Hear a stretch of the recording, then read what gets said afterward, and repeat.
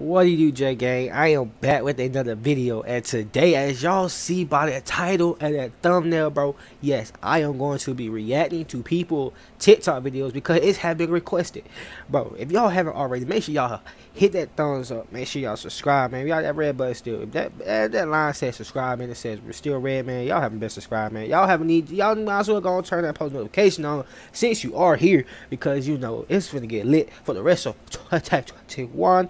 And y'all already know, man. Let's get to it on game. Now get back in there and sit down, and this girl better not be calling me again. oh, your hair is um. Brittany, Yo, we're on page wig. 37 in the text. That's a he. What page? 37. Um, ma'am, what are you still doing in here? Oh, my daughter. bro. So guys, me honestly, bro, if I did have kids, I would not sit in my kids' classroom. Cause I think that's mad. Like, like you know, let's see, how can I put it? I really think that's like too much because like I wouldn't want my mom to sit in my classroom at all because I would feel embarrassed, honestly. And that's just me and my my opinion. I would feel embarrassed, and that's that's, that's just me. Let's get to it. has a slick mouth. I know as soon as I walk in this classroom, she be talking about me right through her neck, and I want to see her try it. Okay, well, I'm just gonna allow it this one. She would have got smacked. That's all I'm gonna say. Just don't be a distraction. Girl, your mama is so funny. She be and that's the friend. I'm telling y'all, it's always this one friend that actually, you know, they they kind of like your best friend. Y'all kind of knew each other for a while, or either they could just be friends that y'all met for the year, you know. But it's always that one person that's actually going to be laughing at you and your parent, you know. Just saying, and that's like more as middle school and elementary type, right? You don't really see too many parents in high school, you know.